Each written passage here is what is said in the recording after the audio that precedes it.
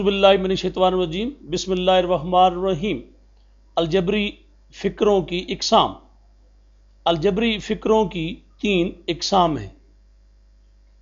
दुरुस्त फ़िक्रे, गलत फ़िक्रे और खुले फ़िक्रे। दुरुस्त फ़िक्रे। ऐसे फ़िक्रे जो दी गई शर्त के मुताबिक दुरुस्त हों, दुरुस्त फ़िक्रे कहलाते हैं।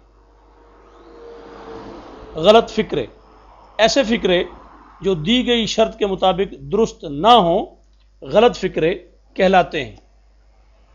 खुले फ़िक्रे, ऐसे फ़िक्रे जिनके गलत या दुरुस्त होने के मुतालिक कुछ ना कहा जा सके, खुले फ़िक्रे कहलाते हैं।